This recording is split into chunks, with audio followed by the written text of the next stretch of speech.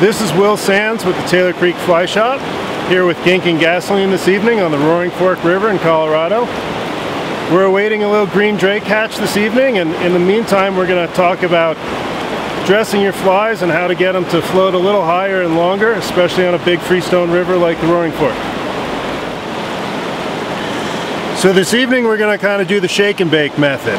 Um, a little different about this, you probably all start off with Aquel or gink. We're just going to lightly grease this fly.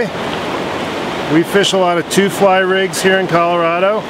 So I'm also going to grease my tippet between my two flies here to our second fly here. At this point most people are ready to fish. They've got some grease on their leader and their tippet and their flies. This is kind of like making fried chicken, kind of like baking.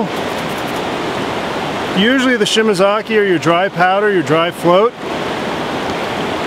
is done after the fly's been soaked or after the fly's been eaten a few times.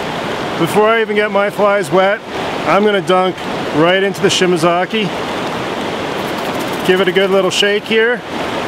We're to go back, you can see how much shimazaki is stuck to that fly. This really makes the fly pretty bomb-proof and ultra water repellent.